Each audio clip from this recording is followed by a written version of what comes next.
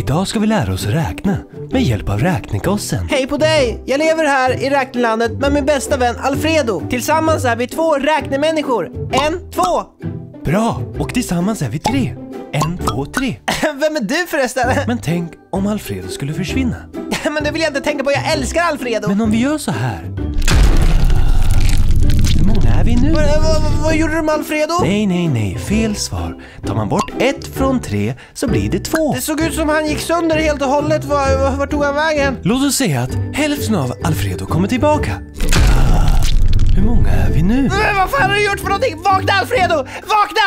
Nej, nej, nej, nej, nej, nej, nej, nej, nej, nej, somna inte, somna inte! Fel, fel, fel. Svaret är halv. Hur många räknemänniskor finns det i hela världen? Men jag vet inte! Vad händer om alla de människorna försvinner förutom du?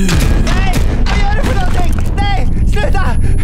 Du dödar mitt folk! Nej, vi räknar! Men vad vill du mig? Varför gör du så här Det är du som är den utvalde, räknegossen. Du är nummer ett. Allt annat i universum är obetydligt! Sluta! Nej!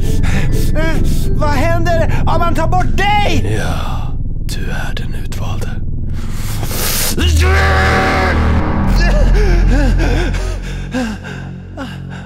Hallå?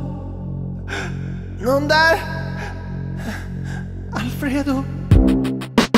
Tack för att ni tittade! Det här var en liten uppföljare på vår gamla video Formvänner. Så ifall ni har lust så kan ni kolla in den också. Det är, de liknar lite varandra sådär, alltså uppföljare. De tar lite ny approach men fortfarande samma anda liksom. Det skulle jag tro att det var ändå.